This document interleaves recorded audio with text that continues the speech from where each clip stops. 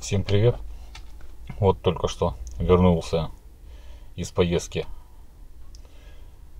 Э, делал, ну вернее как, ставил на регистрацию автомобиль. Для того, чтобы поставить на регистрацию автомобиль, у меня ушло, ну, скажем так, где-то полтора часа. Это с получением дубликатов номеров. Ставил на старых номерах бывшего владельца. Все потому, что прав нет. И новые номера получить я не могу. Перерегистрировать потом тоже не буду. Ну, буду ездить на этих, в принципе. Дали новые, обалденные. В МФЦ, конечно, разрослось. Новые услуги у них. Теперь они только ставят на учет автомобиля. Лучше это или нет, не знаю.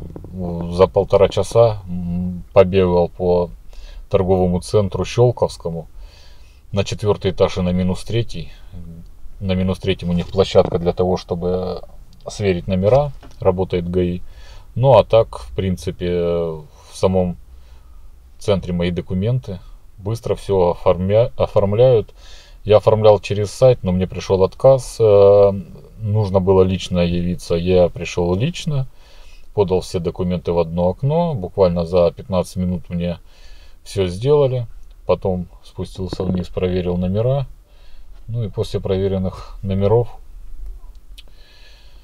э, поднялся наверх, подождал в очереди, ну и, соответственно, поставил машину на учет. Потом еще раз подождал, пока сделают мне СТС.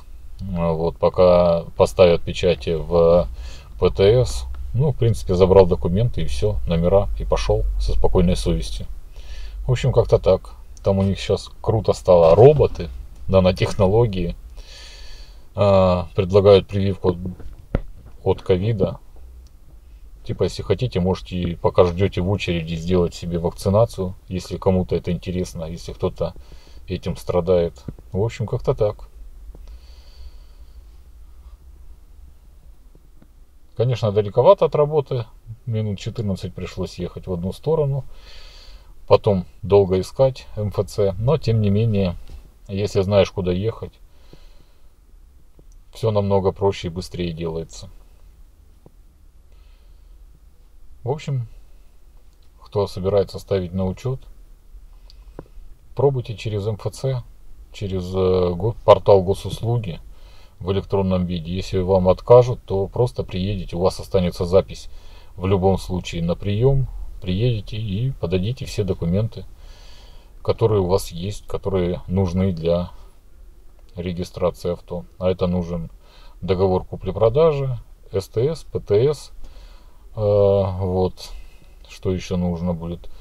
Еще нужно будет э, страховку какую-то оформить заблаговременно чтобы она начала действовать. Ну и, соответственно, все в принципе. Все элементарно и просто.